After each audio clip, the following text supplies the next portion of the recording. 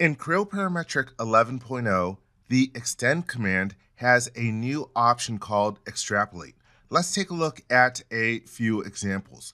Here I am in a part model. I've got a surface created from a boundary blend. It's got moderate waviness. We can take a look at that by going to the Analysis tab, and here is the Mesh Surface command.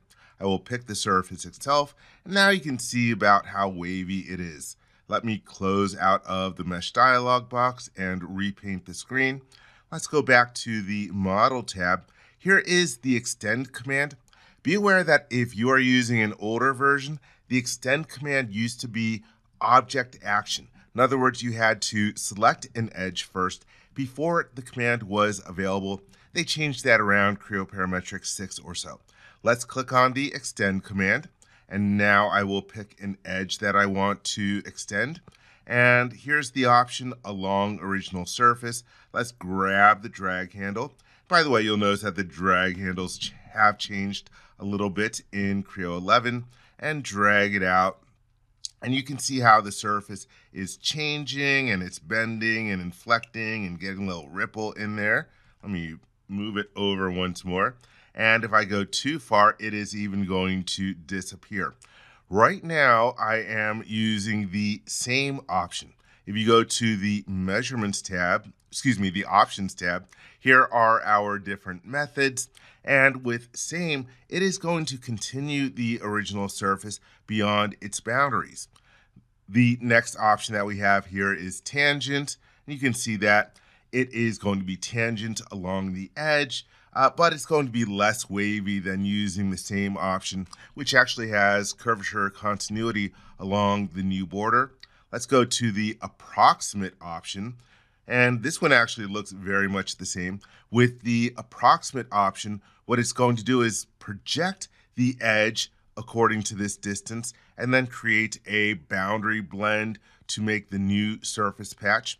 But here is the new option called extrapolate.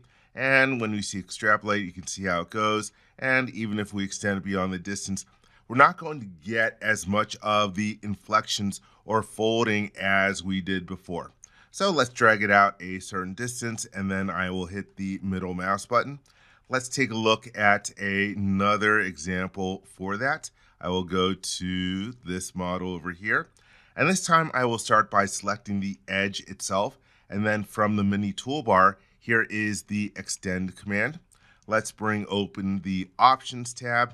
Once again, right now we are using the same method and you can see how when we drag it out, it is essentially like falling off a cliff over here, and then it disappears once it is no longer able to continue the curvature of that surface. Let's change from the same method to tangent. You can see that this ends up being much straighter than the first one. Here is the approximate option, and and we can drag it out. And again, it is just projecting the edge a distance and then creating a boundary blend. And here is the extrapolate option. And with this extrapolate option, it's creating this new surface so that it coincides with the original surface. So it is going to be more reflective of how the original surface is, just not with the same amount of curvature as the one that you get when you use the same option. So again, they're same, and here is extrapolate. I recommend that you make a few simple surface models and see the difference between them. Let's hit the check mark once more. And you can see that we have a curve here. Let me select that and hide it for a second.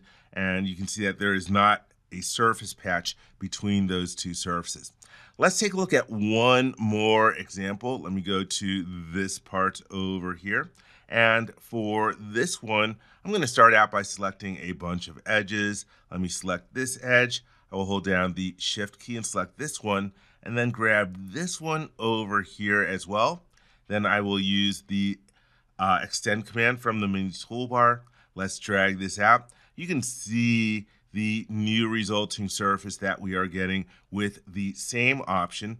You'll notice that because we have a patch in the original underlying surface. We have a patch over here, but even though we have these other two edges, we're not getting a patch in the new intermediate surface for the extend command.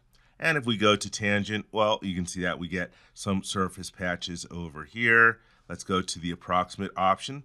Once again, you can see that we are getting these patches. And here is the new extrapolate option. We're not getting the patches, but we're having less curvature than if you are using the same option. They look pretty close, but you can see how they end up twisting a little bit as I change between them. So there you have it. That is the new extrapolate option for Creo Parametric 11.0.